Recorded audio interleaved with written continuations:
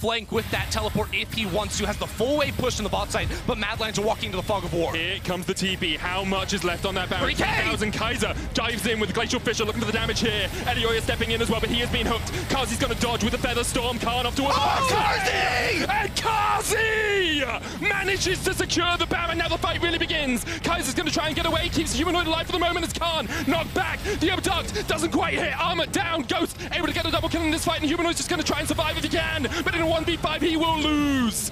The knock-up from the stolen Nautilus will get him a counter kill. Only Elyoya survives as Carzzy secures the Baron.